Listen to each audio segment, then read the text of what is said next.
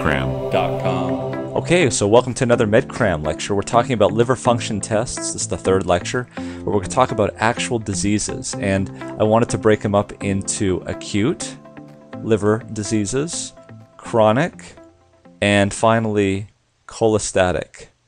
So let's get started. Okay, so here I've made a table of some of the characteristics of uh, hepatitis in the acute form. Let's talk about hepatitis A. Remember that hepatitis A is an oral transmission, so you don't get it by blood, you get it by someone not washing their hands and then getting into the food, and then there's a sort of a fecal oral transmission, you get it. But because this is the liver, you're going to see an increased amount of ALT over AST. Both go up, but you're going to see more of an ALT type of bound up over the AST. And so, how are you going to uh, diagnose this? Remember, it's the IgM anti hepatitis A virus. Okay, so that's how you make the diagnosis. Now, with hepatitis B, on the other hand, it's not oral, but it's intravenous, intravenous uh, or body fluid.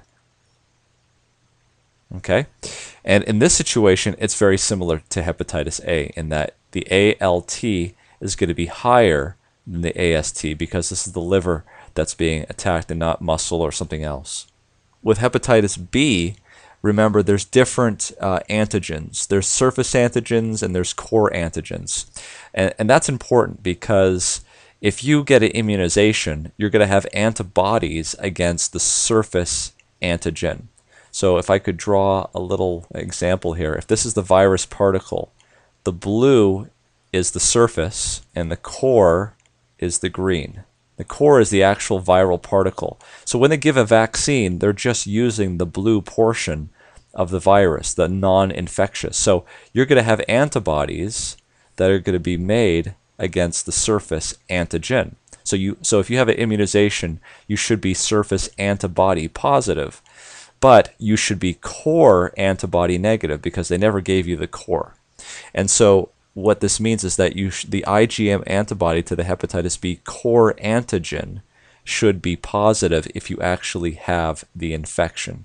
Let me restate that here. So the IgM core antibody is positive. Again, the IgM antibody to the hepatitis B core antigen is positive. That's called the IgM anti-HBC. C stands for the core. And you should also have it positive to the surface antigen. So both of those should be positive. Okay? Because in an actual infection, you're getting the surface and you're also getting the core. So you should have IgM. You should have both of those. So again, the IgM antibody to the hepatitis B core antigen and to the hepatitis B surface antigen both should be positive. Okay. What about hepatitis C? Again, hepatitis C is actually a little bit more chronic, and so you're not going to see as much of an increase here. But again, the key point here is the AST is going to be less in increase than the ALT. Again, this is intravenous drug use or IVDA abuse. Okay. Um, there's other things that are associated with this, like tattoos, also sharing razors, uh, multiple sex partners, these sorts of things can increase the risk of spreading hepatitis C. Now, how do you check for that? It's very simple. It's simply the anti HCV antibody.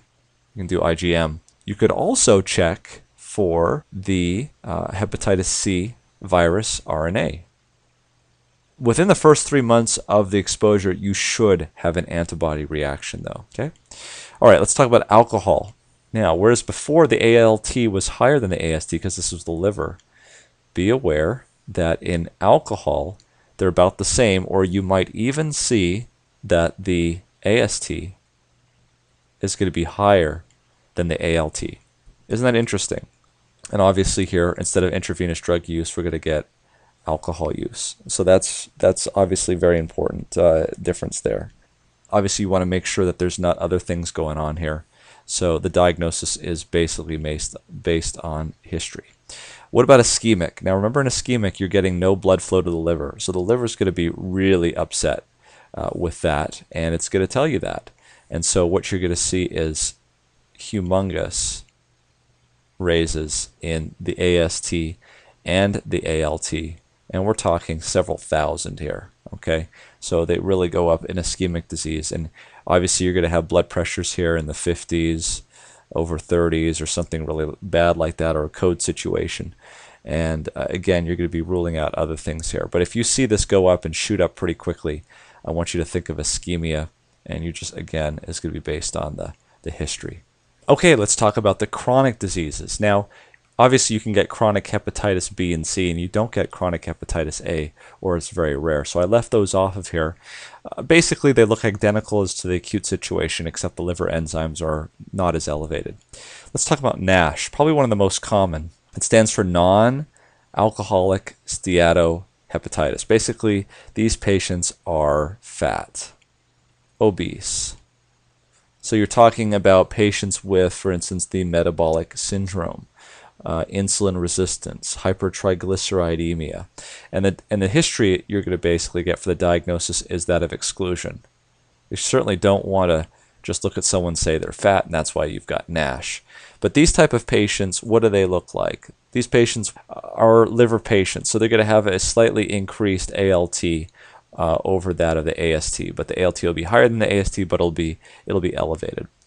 Now, as we said with alcohol, it's very it's just backwards. The ALT is high, but the AST is what's elevated. And again, the history is going to be that of ETOH, and I guess it's also going to be of exclusion. You want to just make sure that you're not just subscribing somebody to the old alcohol reason for their liver disease. Make sure that even though they're drinking, make sure you rule out the other things. Autoimmune hepatitis, that's that's the reason why we need to rule this out. If you have a middle-aged woman who drinks a lot, you certainly don't want to say that it's due to just her drinking because it could be due to autoimmune disease. These are the type of patients that get uh, autoimmune uh, disease, these young women so because it's an autoimmune hepatitis, again, it's in the liver. They're going to have a higher ALT than AST. So the history in this is that they're young women. Uh, that's the type of people who get these autoimmune diseases. And the thing here that you got to know is this. This is for boards, and it's the anti-smooth muscle antibody. If that's positive, it's going to be very difficult to say that this is all related to alcohol disease. So look for positive autoantibodies, anti-nuclear antibodies, but specifically the answer they're looking for is anti-smooth muscle antibodies. Okay, hemochromatosis. This is uncommon in women. It's usually because why? They have periods and they lose iron. So they it's very hard to store up with iron. But the history here is that it's typically in men. And what are we going to see here? Well, if you take the ferritin level and the iron saturation, that's the uh, where you take the iron, the serum iron, and divide it by the TIBC, you're going to get something greater than 55%. And usually your ferritin level is greater than a 1,000. So you're off the charts with this. And of course, the history is that of something called bronze diabetes. And this shows up on tests a lot. And the reason does is because it's got a very specific presentation. Basically, iron infiltrates a lot of the endocrine organs of the body. The iron infiltrates the pituitary. Okay? So they can get pituitary problems. It infiltrates the pancreas. So what do they get? They get diabetes. It infiltrates the heart.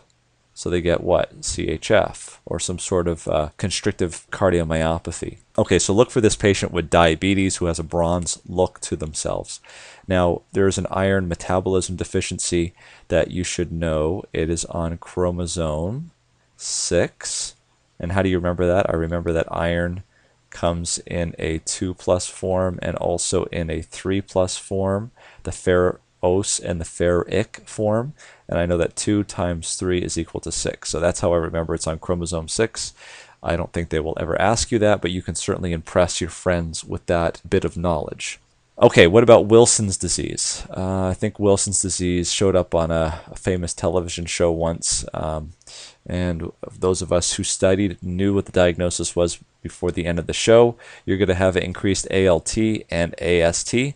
The history here with Wilson's disease is that they're young, they get this kind of choreiform movement disorder and psychiatric disease, but the key here is this thing's called the Kayser, K A Y S E R Fleischer, F L E I S C H E R rings.